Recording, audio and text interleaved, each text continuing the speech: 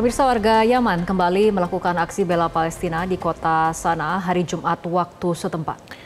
Ribuan warga Yaman berunjuk rasa dengan Jelajahi cara baru mendapatkan informasi. Download Metro TV Extend sekarang.